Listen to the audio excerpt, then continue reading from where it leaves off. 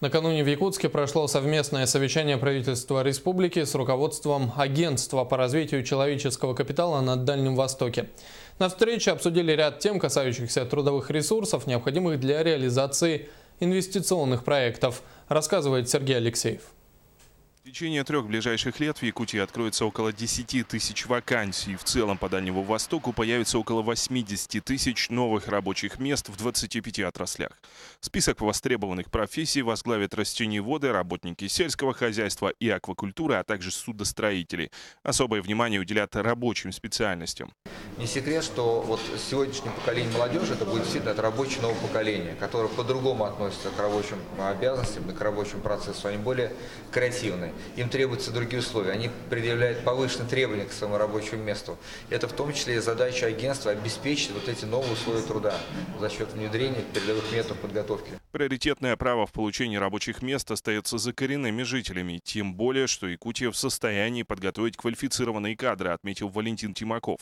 В то же время в правительстве республики придают большое значение совместной работе с агентством, поскольку для планируемых к реализации 20 инвестиционных проектов потребуется порядка 52 тысяч вакансий. Агентство а, занимается развитием человеческого а, капитала. Это очень комплексный вопрос. Э, это и а, по сути, создание условий для жизни на э, территории, это и обучение кадров, это и закрепление кадров на крупных предприятиях, где платят хорошую заработную плату. Поэтому э, вот по всем этим направлениям мы с агентством договорились работать и из этого исходит наш интерес. Республика не входит в федеральную программу мобильности трудовых ресурсов. Такая программа уже действует на территории республики и является инициативой правительства.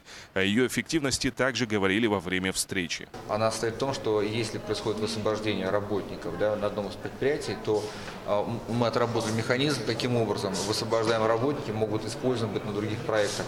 Прошу отметить, что сейчас а, на территории Якутии работает а, территория опережающего развития Кангалас, и количество резидентов, 13 э, резидентов, поэтому в ближайшее время количество необходимых рабочих мест будет значительным, поэтому все люди потребуются, конечно. Кроме того, стало известно время проведения межрегиональной научно-практической конференции по вопросам развития человеческого капитала. Она пройдет в Якутске в июне этого года. Участие в мероприятии примут около 250 представителей бизнеса, общественных объединений, учебных заведений и студенческих организаций. Сергей Алексеев, Александр Слепцов, НВК «Саха-Якутск».